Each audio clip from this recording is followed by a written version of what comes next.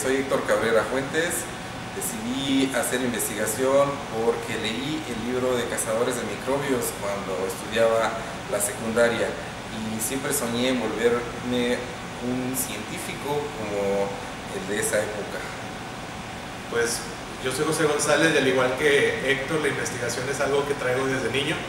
Eh, desde muy chiquito siempre quise ser científico y hoy en día siento que la investigación es mi manera de regresarle a México todo lo que me ha dado.